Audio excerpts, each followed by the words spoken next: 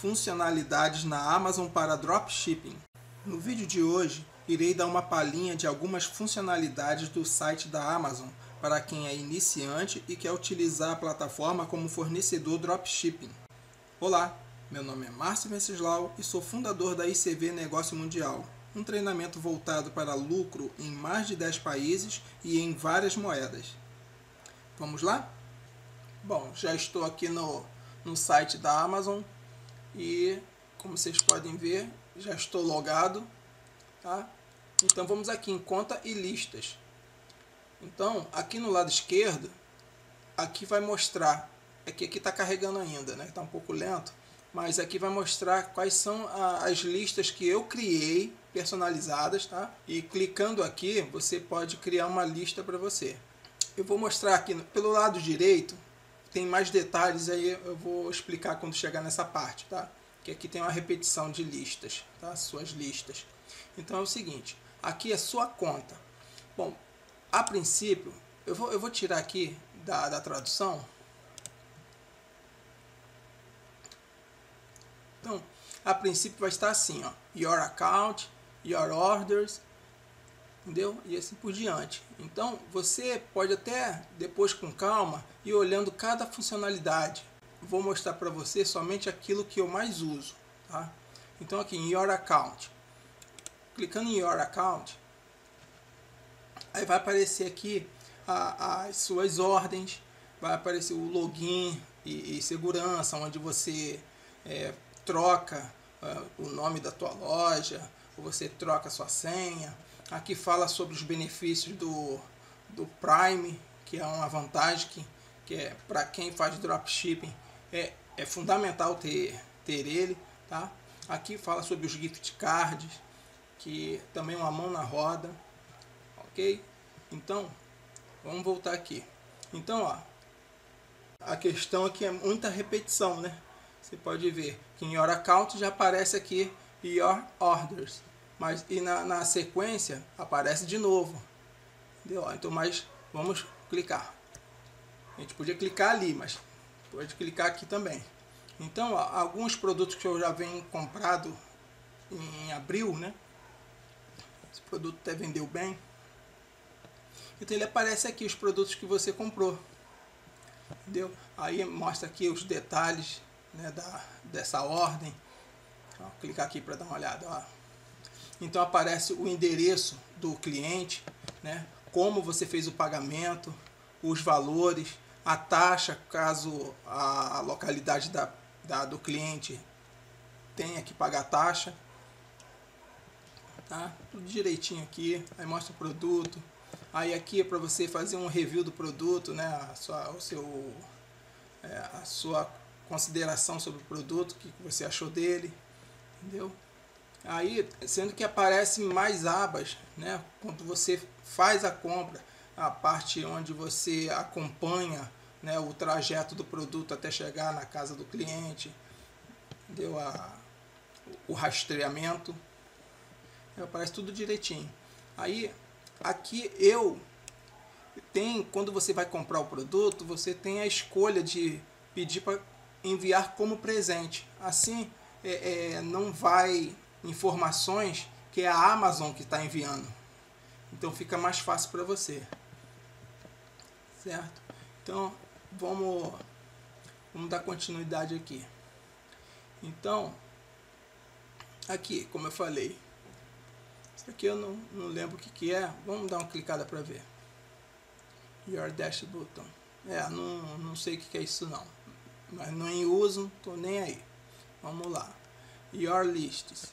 Então aqui ó, no Your Lists é o seguinte, quando você escolhe os produtos que você vai estar tá anunciando lá no eBay, você cria uma lista, uma lista basicamente de acompanhamento, porque toda mudança que houver, você vai estar tá por dentro dessas mudanças, é, mudança de preço, questões de estoque. Então você cria uma lista e aí você já sabe quais são os produtos. Um exemplo aqui, eu criei uma lista crianças, que são produtos para criança, aqui produto de escritório. Então você vai criando e também você pode configurar se é uma lista que outros quando olharem a, a, o seu login de repente identificou que você é um comprador dropshipping, né? Então ele pode olhar os, os seus produtos. Então você decide se vai deixar ele público ou privado. Aqui você pode dar uma, adicionar uma ideia de lista. Isso eu não, nunca fiz não. Entendeu? Então aqui em cima você cria uma lista. Então aí essa lista é para você? Claro, é para você. Então aí você decide se vai ser shopping list, wish list ou idealist. Vamos traduzir aqui. Aqui, se a sua lista de compra, se é uma lista de desejo, é uma lista de ideias, entendeu? Aí aqui você muda o nome e saiu. Vamos de novo.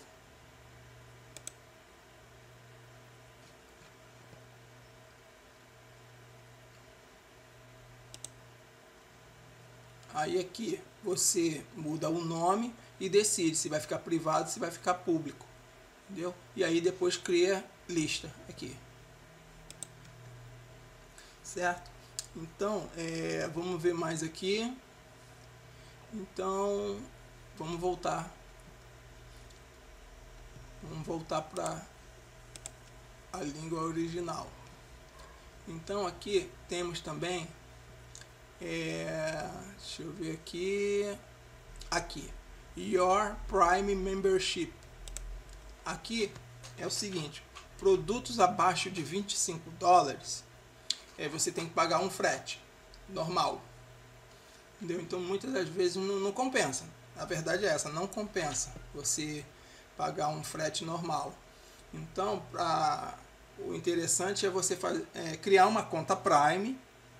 Você vai pagar por mês uns 12 a 13 dólares mas todos os produtos que você é, enviar vai sair todos de graça, desde que ele seja Prime, tá? Na hora de você ver um anúncio, se ele estiver escrito Prime, aí pronto, você já sabe que é um produto que você não vai pagar frete porque você é um membro Prime, tá?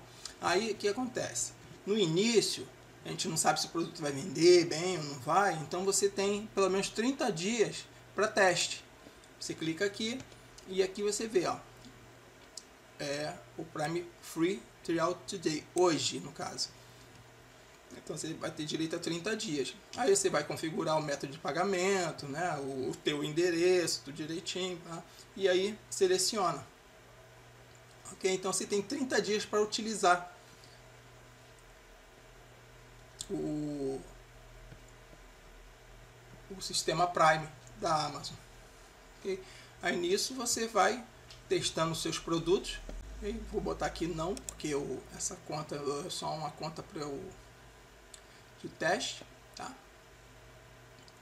Então essa parte é isso. Tá? Agora vamos fazer o seguinte, vamos vamos dar uma olhadinha agora aqui em cima. É, as buscas, você né, vai escolher um produto, tudo. Então você vai fazer uma busca por categoria ou pelo nome do produto. Pela categoria, você clica aqui em All e escolhe a categoria. Sendo que cada categoria, aí ele vai ter uma subcategoria e assim vai refinando cada vez mais. Entendeu? Um exemplo, vamos botar aqui. Deixa eu ver aqui algo interessante para mim, né, no meu home kitchen. Essa é a categoria.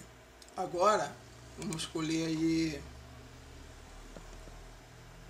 hum, de maneira geral, vamos ver o que, que ele puxa. Então, ele já puxou aqui diversos produtos, certo? Então, ó, aí a subcategoria aqui, kitchen. Aí na subcategoria kitchen tem esses produtos aqui. Aí vamos supor, desse daqui, das facas. Então, das facas, tudo relacionado a facas, olha. Aqui mostra também os mais vendidos, né, os, os, os melhores vendedores. Entendeu? Então, vamos continuar aqui, ó. Em conjunto de facas. Então, no conjunto de facas já mostra os mais vendidos em conjuntos de facas, certo? Aqui tem as recomendações, né, com base nessa pesquisa que eu comecei a fazer, entendeu? E pronto. Então é assim que vai refinando. E você também pode usar aqui na, na aba lateral, ó, é, detalhe por detalhe.